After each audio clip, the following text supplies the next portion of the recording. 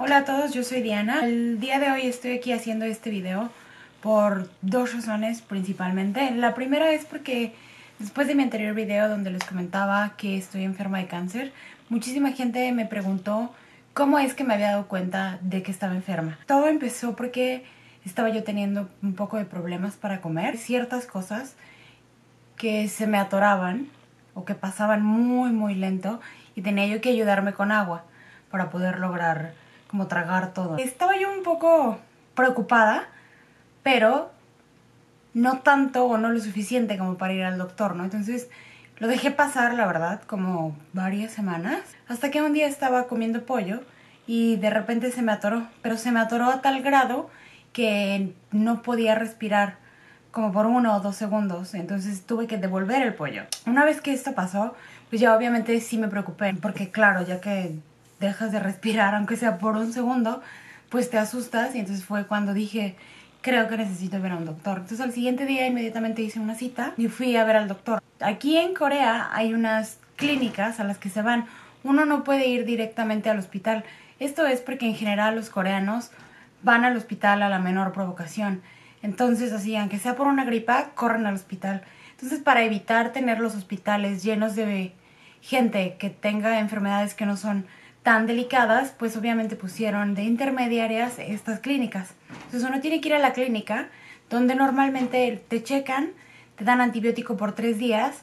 Si sigues mal, regresas y te dan un pase para ir al hospital, para que digas ya justificadamente, en la clínica no me pudieron atender o resolver mi problema, entonces ya necesito que me chequen en el hospital. Entonces en la primera clínica pasó eso, me dieron medicamento, eh, unos antibióticos porque creían que era una infección. El doctor dijo, lo más probable es que sea una infección. Pero yo sabía, la verdad, que no era una infección. Entonces yo le dije, no, yo creo que necesito que me hagan un examen donde te meten una camarita, que yo ni sabía cómo se llamaba, pero yo sabía que me tenían que meter una camarita en la garganta para revisar qué es lo que estaba pasando. Total que el doctor me dio un pase al hospital, fui, me hicieron una endoscopía, que es justo cuando te meten un tubo con la cámara. Esa primera endoscopía me la hicieron despierta. La verdad fue una experiencia bastante mala, bastante incómoda. Porque digo, aunque es un tubo yo creo que como de 2 centímetros de diámetro, cuando estás despierta y te lo van metiendo y vas sintiendo todo y vas sintiendo cómo va bajando por aquí, sientes como si te estuvieran metiendo una manguera de bomberos, entonces no es una situación nada agradable. Después de la endoscopía, la enfermera me dijo que habían tenido que realizar una biopsia. Cuando la enfermera mencionó la palabra biopsia, fue cuando yo, pues ciertamente supe, ¿no? Que, que algo andaba mal por ahí. Y entonces, pues sí, efectivamente, ya me diagnosticaron. Pero así fue como todo empezó. Estaba yo básicamente teniendo problemas para tragar. Y todo esto fue porque cuando yo vivía en México, digo, muchos de ustedes saben cómo es la, gastronomía mexicana, que está llena de picantes, de cosas muy condimentadas, etcétera, muy irritantes. Entonces, solía tener reflujo constantemente. Reflujo es cuando los ácidos gástricos que están en el estómago se suben y como que se regresan por la garganta, ¿no? Entonces te llega a lastimar aquí, te llega a arder y a veces lo sientes hasta los oídos. Eso me pasaba muy seguido cuando vivía yo en México. Cuando llegué a Corea, obviamente mi alimentación cambió y pues dejé de tener reflujo, ¿no? Sin embargo, lo tuve tanto tiempo en México que mi esófago, el tejido del esófago, cambió y se convirtió en un tejido similar al del estómago, como que digamos se mutó. A eso se le llama esófago de Barrett, que es lo que posteriormente puede desarrollarse en cáncer. Así que si alguno de ustedes sufre de reflujo constantemente o tiene gastritis o algo que no está bien, ¿no? Que a lo mejor podemos pensar que es normal, pero en realidad no.